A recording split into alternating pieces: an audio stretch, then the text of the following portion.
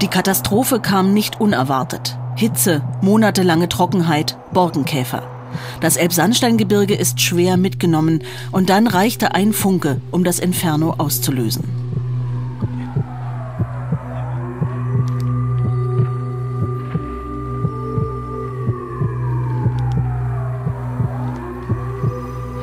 Die erste Meldung im MDR Sachsenspiegel am Sonntagabend.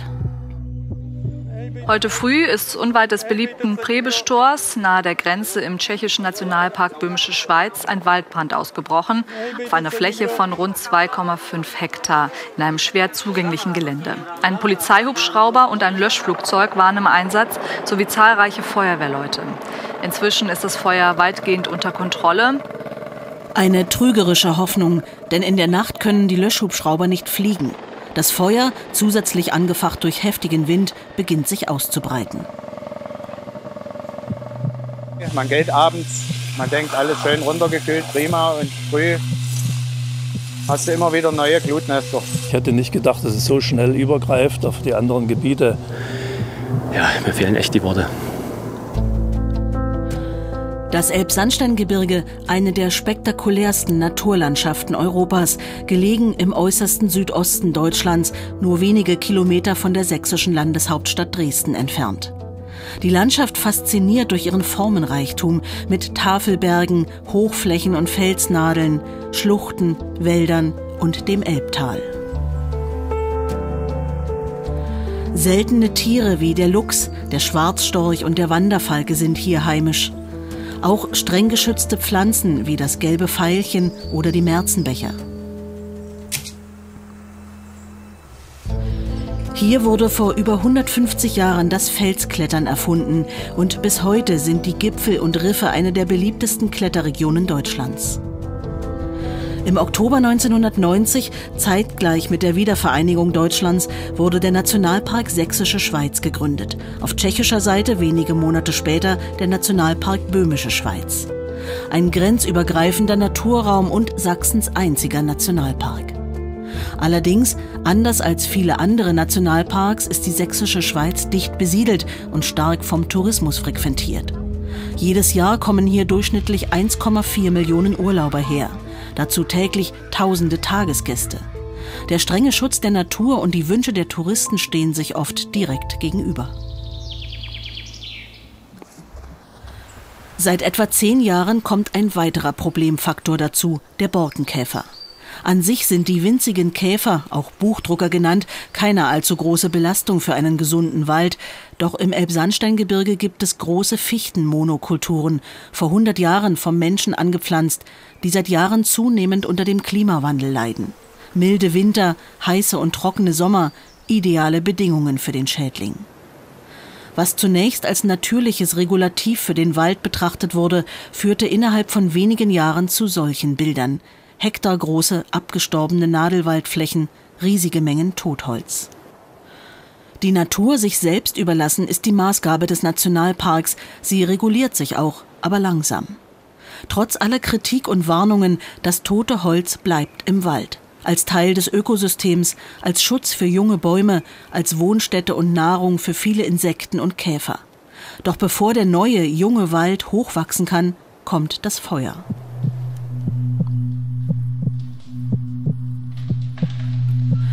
In der Nacht zum Montag lodern die Flammen wieder auf. Feuer im staubtrockenen Wald, Feuer auf den unzugänglichen Felsplateaus, Feuer in den tiefen Schluchten bei Chränsko.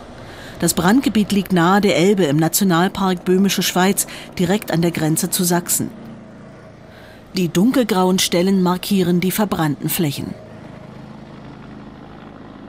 Mit Löschhubschraubern wird versucht, Wasser an die Brandherde zu bekommen. Polizei und Armee unterstützen die örtlichen Feuerwehren.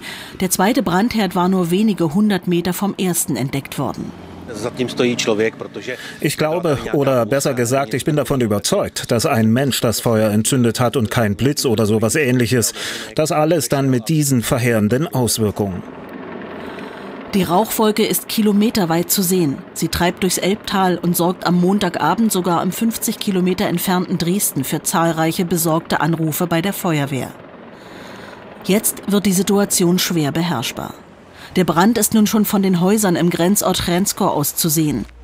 Das beliebte Wandergebiet rund ums Prebestor und die Edmundsklamm, jährlich von tausenden Menschen besucht, nun wird es evakuiert und für Gäste geschlossen.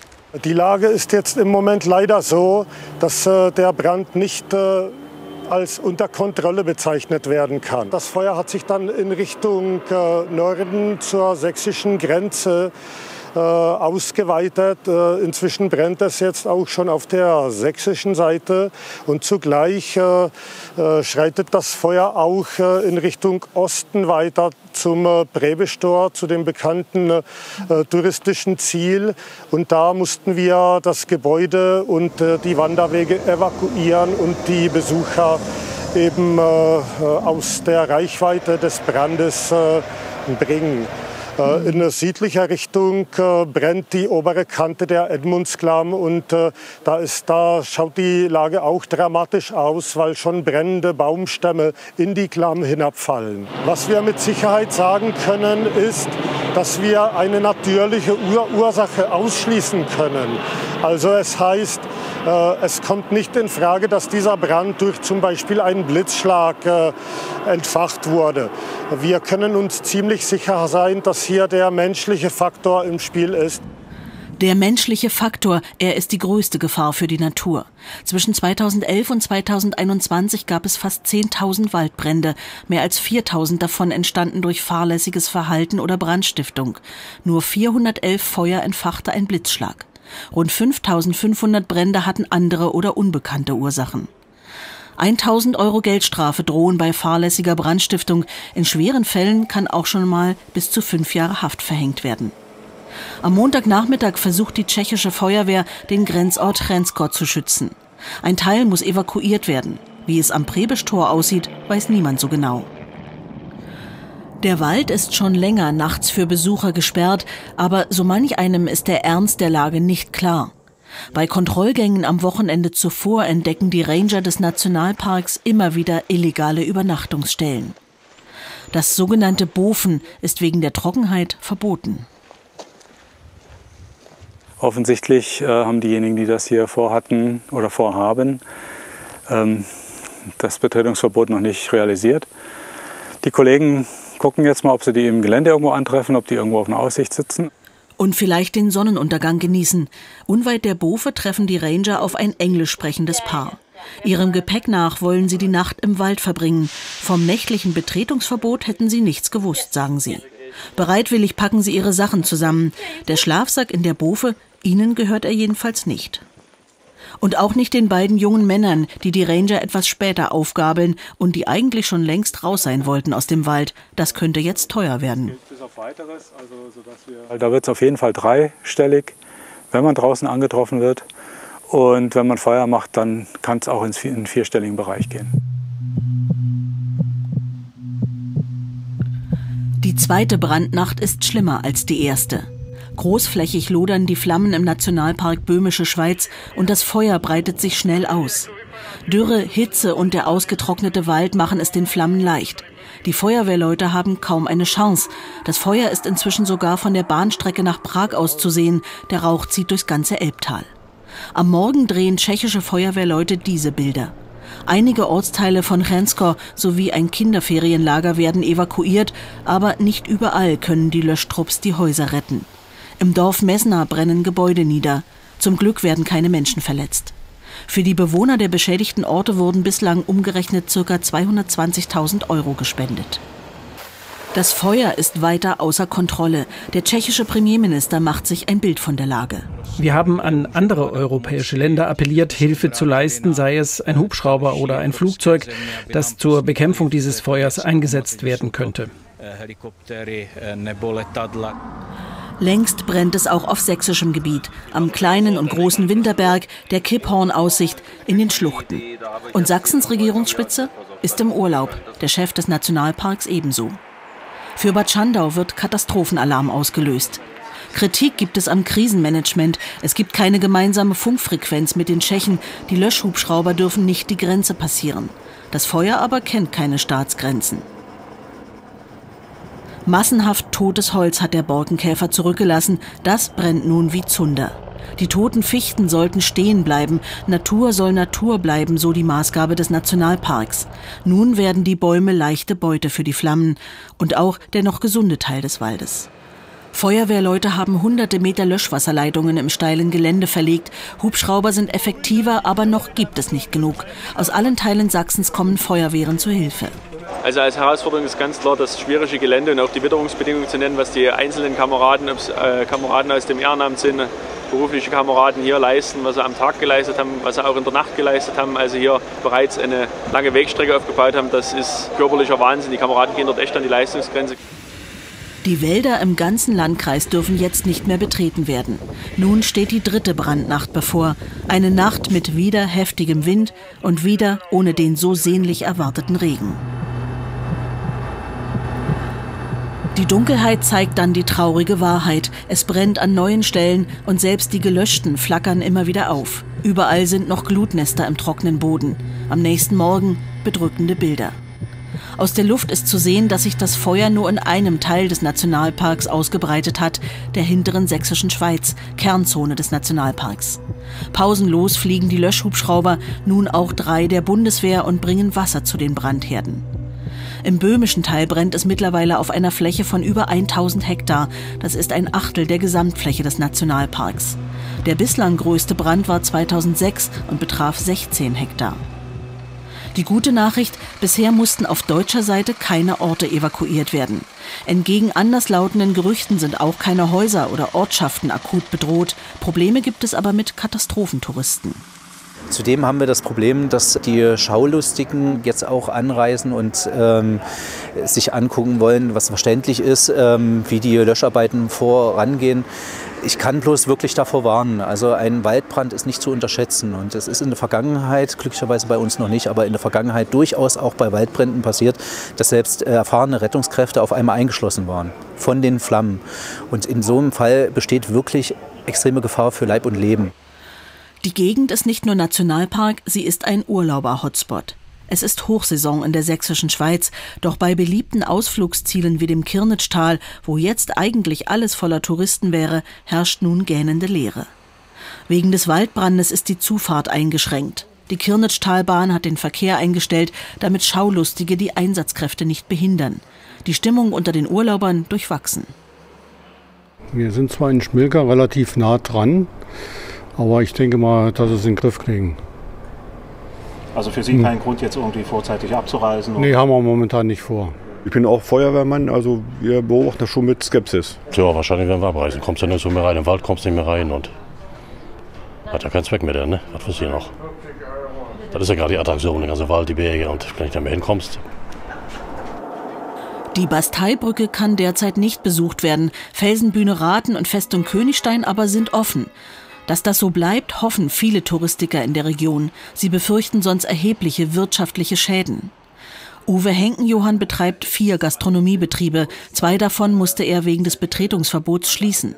Für sein Hotel in Gorisch gibt es erste Stornierungen. Für die Maßnahmen der Behörden hat er Verständnis, aber abreisen müsse derzeit niemand. Was mir persönlich extrem wichtig ist, dass wir die Gäste, äh, die, die jetzt hier sind, ähm, den einfach Alternativen zeigen, weil die Sächsische Schweiz hat neben dem Wald natürlich viele, viele schöne andere Highlights. Also ob das für Kinder ist, äh, Elbe Freizeitland, äh, Toskana-Therme, Elbradweg, Kanufahren, es gibt unendlich viele Möglichkeiten.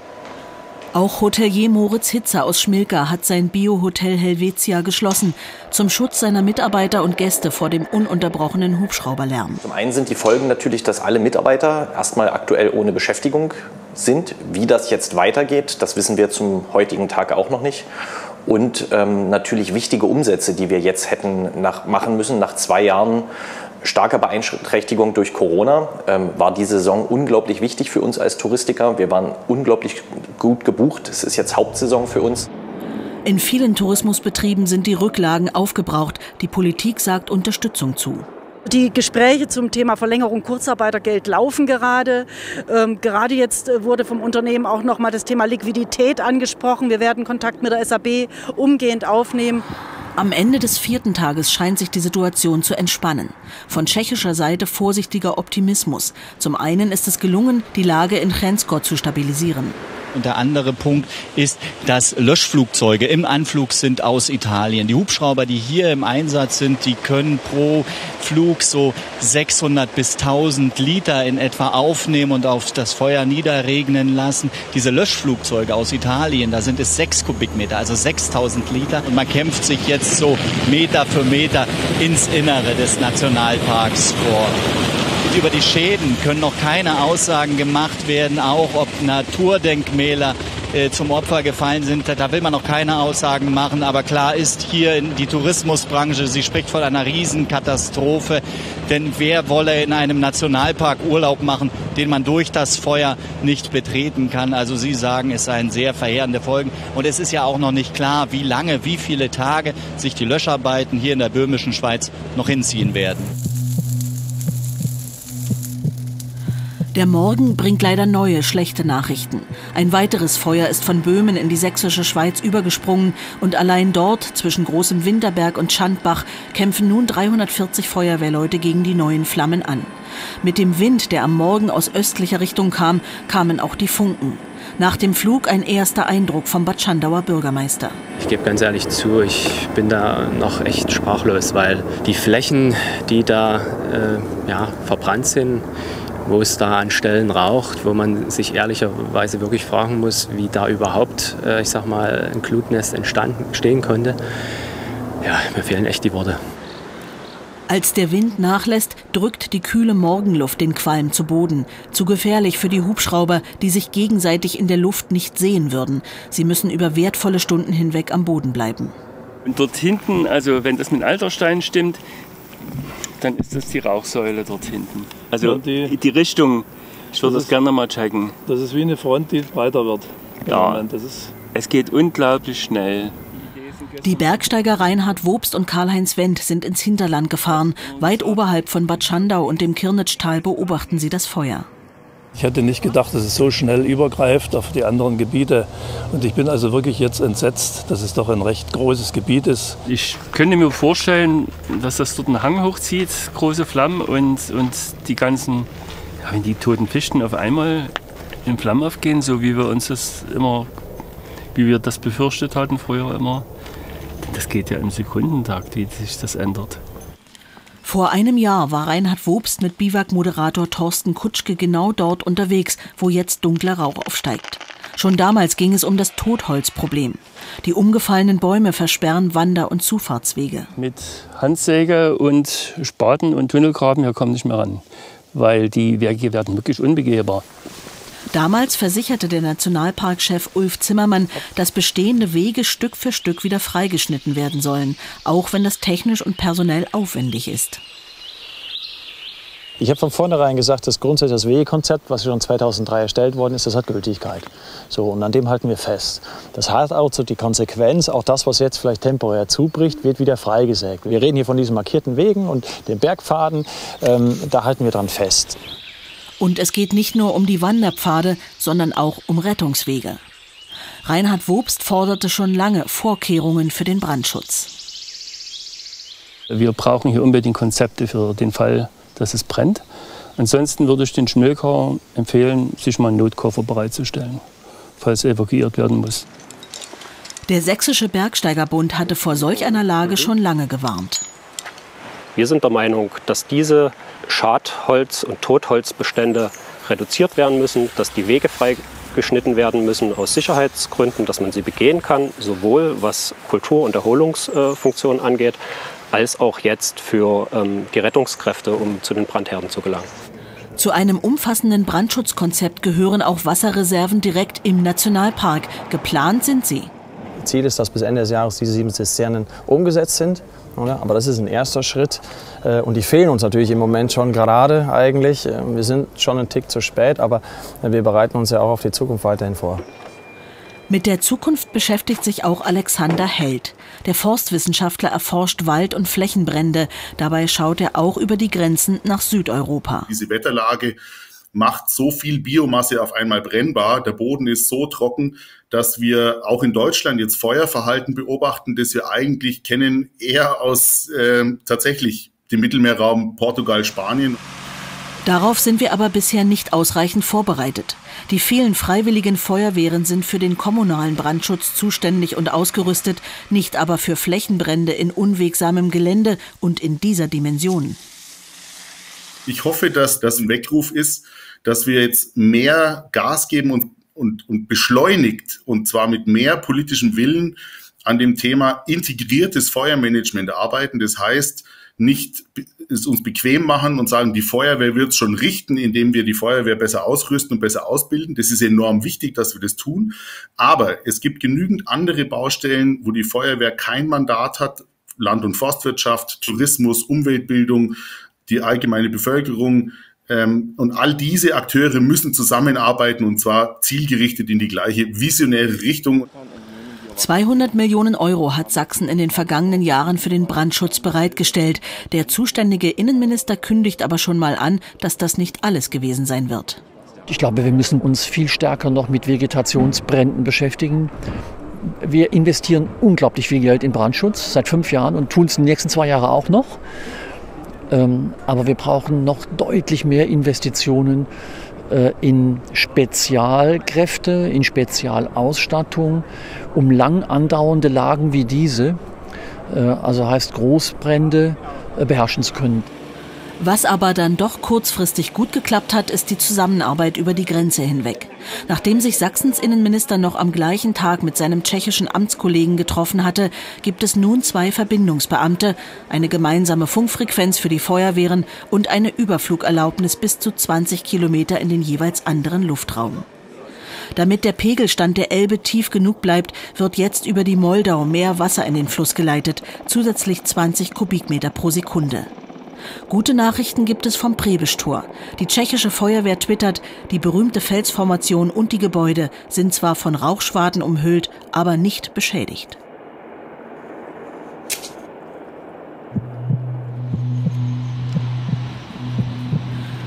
Seit Freitag gilt auch für die große Kreisstadt Sebnitz Katastrophenalarm. Nun übernimmt auch hier das Landratsamt die Koordinierung der Lösch- und Rettungsmaßnahmen. Inzwischen wurden neue Satellitenbilder ausgewertet. Auf deutschem Gebiet brennen 150 Hektar statt wie bisher vermutet 250. Das sind nur zwei Prozent der gesamten Fläche des Nationalparks. Auch alte tschechische Doppeldeckermaschinen kommen jetzt zum Einsatz. Sie müssen von Hand auf einem Flugfeld mit Wasser betankt werden.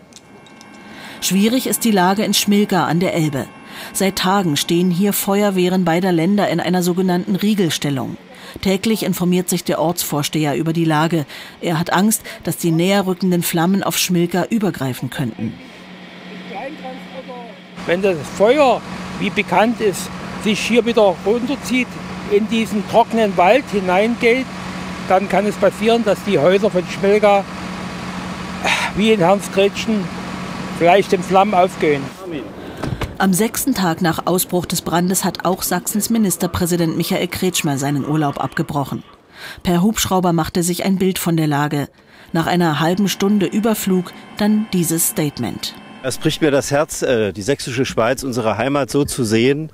Und es ist vollkommen klar, wenn wir aufhören zu löschen auf der tschechischen und auf der deutschen Seite, äh, dann wird es einen riesigen Waldbrand geben und es wird äh, wenig davon übrig bleiben. Es hängt wirklich von unserer Durchhaltefähigkeit ab. Die Wolken kündigen Regen an, doch es war der berühmte Tropfen auf den heißen Stein. Denn im Brandgebiet kamen weniger als drei Liter pro Quadratmeter herunter. Das Regenradar zeigt, wie die Niederschlagsfront fast komplett am Elbtal vorbeizog. Das hat nicht viel gebracht. Er war sogar eher kontraproduktiv gewesen, weil das Problem ist, oben auf den Hängen wird dadurch der Boden schmierig und die Einsatzfahrzeuge haben Probleme dann eher hochzukommen. Dabei wird auch ein weiteres Dilemma deutlich. Auf deutscher Seite fehlen vor allem kleinere, geländegängige Fahrzeuge. Die tschechischen Einsatzkräfte nutzen zum Beispiel solche Quads, um in die schwer zugänglichen Regionen vorzudringen. Es ist wie David gegen Goliath. Scheint ein Brandherd gelöscht, flackern kurze Zeit später neue Glutnester wieder auf, wie man im Wärmebild gut sehen kann. Das Glutnest an sich äh, ist deshalb tückisch, weil wir ja äh, zwischen den Felsnadeln teilweise über Jahrzehnte äh, Material haben, was sich dort also gesammelt hat, was dort verrottet ist, was Humus gebildet hat und was bei den Temperaturen natürlich trocken ist. Da ist keine Feuchtigkeit mehr drin. Das kann man an und für sich nur mit einer manuellen Bekämpfung ausräumen. Die Feuerwehrleute sind seit sieben Tagen im Einsatz. Das Durchhaltevermögen ist enorm. Die ersten zwei Tage waren wir auf der Kipphorn-Aussicht am Winterberg, haben dort die ganzen Schluchten versucht abzulöschen und dann geht es mit Hacke und Seilsicherung in die Hänge rein. Dann wird geprüft, Blutnester, dann wird Nässe draufgebracht. Doch das Wasser muss von weit her geholt werden kilometerlange Schlauchlängen. Runter sind es ja schon ein Kilometer vom Auto, bis man hier überhaupt erstmal an die Hänge kommt. In 50 cm Tiefe ist der Boden noch so heiß, dass es jederzeit wieder aufflammen kann. Deshalb gibt es auch für die scheinbar gelöschten Gebiete keine Entwarnung. Umso unverständlicher ist das Verhalten mancher Zeitgenossen. Es ist wieder dazu gekommen, dass drei Touristen aufgegriffen wurden, die unterwegs zum Prebestor waren und damit nicht genug. Man hat dann auch noch eine Feuerstelle entdeckt, die diese, wo diese Menschen ein Feuer im Wald angezündet haben. Also die Behörden hoffen auf die Einsicht der Touristen, diesen Nationalpark weiterhin nicht zu betreten. Die zweite Woche beginnt. Hunderte Feuerwehrleute und andere Helfer müssen versorgt werden. Neben Hilfsorganisationen wie dem DRK und dem Arbeiter-Samariter-Bund sind mittlerweile viele Helfer aus der Gegend dabei. Es ist unsere Heimat, es ist unser Zuhause und wir sind durch unsere Hunde so oft im Wald, dass wir uns auch damit so verbunden fühlen, dass wir helfen müssen. Müssen, tatsächlich. Auch Andrea Winkler aus Krippen konnte nicht tatenlos zusehen bei der Katastrophe direkt vor ihrer Haustür. Jetzt hilft sie hier in Bad Schandau, Betten vorzubereiten für die erschöpften Feuerwehrleute. Und Toiletten und Duschen putzen muss auch sein. Das ist meine Heimat, die brennt und irgendwas muss man tun. Wir können ja nicht mit löschen gehen, wir können ja da nichts mitmachen. Also macht man halt sowas. Ja. Da, wo man gebraucht wird. Arbeit, die keiner sieht und keiner bezahlt bei diesem anstrengenden Löscheinsatz. Wir haben uns riesig gefreut über die gemalten Bilder von den ganzen Kindergärten außenrum, die hier abgegeben wurden, über jeden Freiwilligen, der vorbeikommt, der hier spendet und sowas. Das ist immer für die Moral gut. Es ist wirklich ein Zeichen Anerkennung für uns. Endlich gibt es auch gute Nachrichten. Die tschechische Feuerwehr meldet, dass der Brand auf ihrem Gebiet unter Kontrolle ist. Die Glutnester werden beobachtet, aber nun sollen die Wanderwege nach einer Inspektion schnellstmöglich wieder geöffnet werden. Vielleicht kann die Tourismussaison noch gerettet werden. Im Nationalpark klafft eine Wunde. Jetzt muss dringend über ein anderes Waldmanagement gesprochen werden. Das fordert nun sogar die Politik. Und deswegen muss darüber gesprochen werden, wie in einer Zeit, wo es immer trockener wird, auch solche Nationalparks eine Zukunft haben. Wie eben äh, Schneisen vorhanden sein können, die zur Brandbekämpfung helfen können. Wie Wasserhaltung in äh, den Wäldern organisiert werden kann. Wie vielleicht auch mehr Totholz aus den Wäldern herausgebracht werden kann. Diese Fragen muss man jetzt unideologisch offen stellen und diskutieren. Der Nationalparkchef ist generell zu Gesprächen bereit. Zum jetzigen Zeitpunkt ist das verfrüht. Wir müssen uns jetzt erstmal darum kümmern, dass wir es gelöscht kriegen. Und wenn wir das im Griff haben, Zeit dafür haben, Ruhe haben, dann müssen wir auch die Frage stellen, okay, wie können wir das vielleicht verbessern? In welchen Bereichen macht das Sinn? Müsste man dann eben reduzieren oder nicht? Was wichtig ist, wir werden das insbesondere im Bereich der Rettungswege anschauen. Ob wir dort im Sinne von zusätzlichem Brandschutzschneisen oder entlang der Wege eben Totholz reduzieren und auch aktiv vielleicht sogar eingreifen, dass wir dort eher verstärkt dann noch Laubholz einbringen, damit dort ein besserer Schutz möglich ist. Einer der besten Baumkenner Deutschlands ist Professor Andreas Rohloff von der Forsthochschule Tharand. Seine Prognose, wann und wie die verkohlten Flächen wieder grün werden, klingt zuversichtlich. Lässt sich natürlich schwer so pauschal für ein ganzes großes Gebiet, Sächsische Schweiz, mit Höhen und Tiefen und Tälern und Osthängen und Nordhängen und Südhängen vorhersagen, aber mit Sicherheit im nächsten Frühjahr. Die Asche ist erstmal sehr nährstoffreich, ein sehr ja, günstiges Keimbett für sehr viele Pflanzen. Vor allem Birken, Ebereschen und Pappeln sind da Spezialisten. Auch Weißtannen kann er sich als Nachfolger der Fichten vorstellen. Die haben im Inneren einen sogenannten Nasskern. Die hat dieses Feuerrisiko nicht und äh, kommt mit Schatten, mit Licht, mit allem, mit Trockenheit gut klar. Am Konzept des Nationalparks, die Natur sich selbst zu überlassen, würde er auf keinen Fall rütteln. Im Nationalpark in den Kernflächen wird ja oberstes Gebot ähm, alles laufen gelassen, egal ob es Borkenkäfer sind, ob es Feuer ist, weil man daraus lernen will, was die Natur selbst tut nach so einer Katastrophe. Was sie tut, zeigt dieses aktuelle Foto aus dem Brandgebiet sehr deutlich. Eine Woche nach dem Feuer sprießen die ersten Halme. Die Natur wird sich relativ schnell erholen nach diesem größten Waldbrand in der Geschichte der Region. Der Mensch braucht länger dafür.